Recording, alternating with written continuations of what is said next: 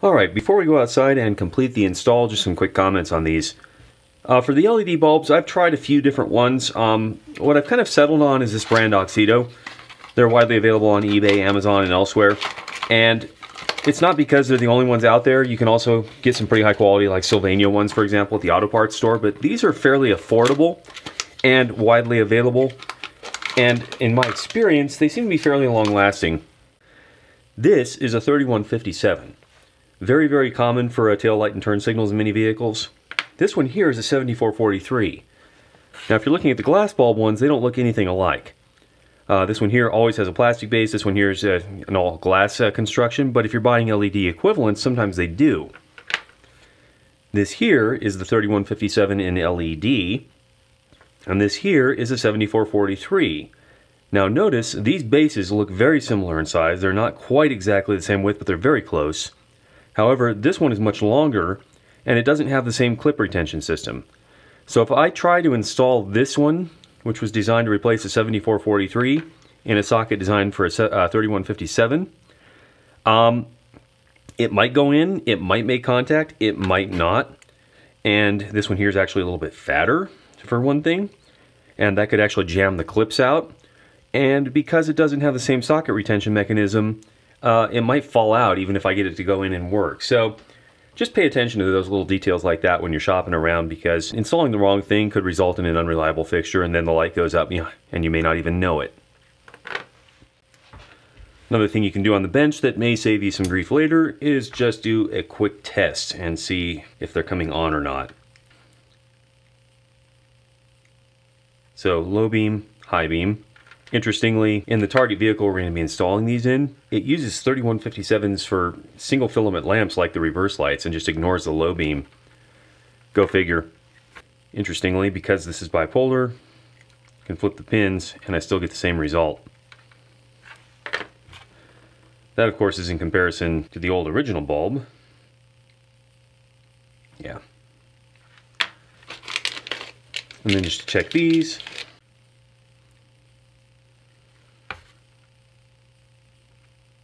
So this one you do have to get oriented correctly or it won't light.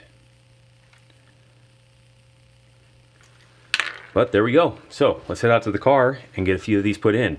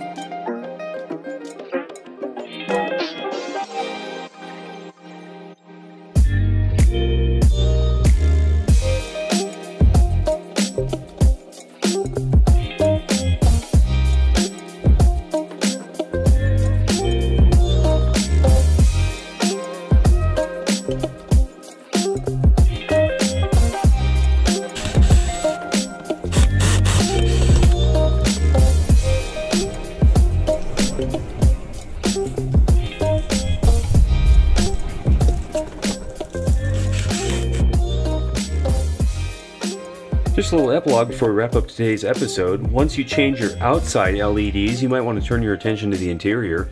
Uh, regarding dome lights and things like that, we have a previous episode called Unconventional LED Lighting that may be interesting, but when it comes to your dash, uh, shift indicators, things like that, there are lots of options. In many cases, you're looking at OE bulbs that are sometimes pretty tiny, uh, things like this or even this, and they usually have this blue vinyl cover on them to try and shift the warm white uh, color temperature a little bit higher. Uh, once you install LEDs, of course, that's not as much of an issue, but and again, it doesn't really look blue so much in the dash. It's just kind of a high color temperature white because the warm white is being filtered through that little vinyl cap that's on there. This here would have originally installed in a socket like this, which then pushed in on the back side of the uh, instrument cluster. But there are options for changing that. They don't all work the exact same way. This here's one LED example. Well, here's an older style that just uses a conventional uh, is that like a 3 or a 5 millimeter LED? There we go. So, yeah. I mean, it puts out a decent amount of little light, but it tends to be a little bit focused towards the outside. That may or may not work depending on your application. Here's another one here. We'll probably have to try this one both ways also. This one here is much brighter.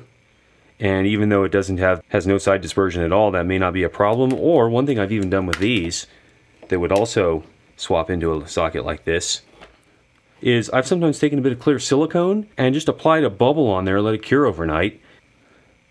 But that's not to say you couldn't change the color if you wanted to. You want to change your, if your dash has kind of a whitish layout and you want to change it to more of an orange, you can certainly do that just using alternate bulbs. Or even, like some modern vehicles, you could go with red. So there's no limitation to your options.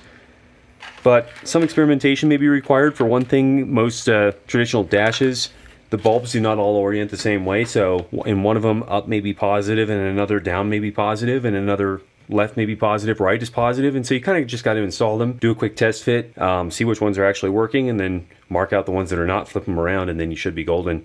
Uh, personally, I kind of like the look. Uh, it, in some cases, it can be subtle, but it is definitely distinct and hopefully very long lasting. So have fun with those ideas, and we hope to see you next time on Workshop Quick Takes.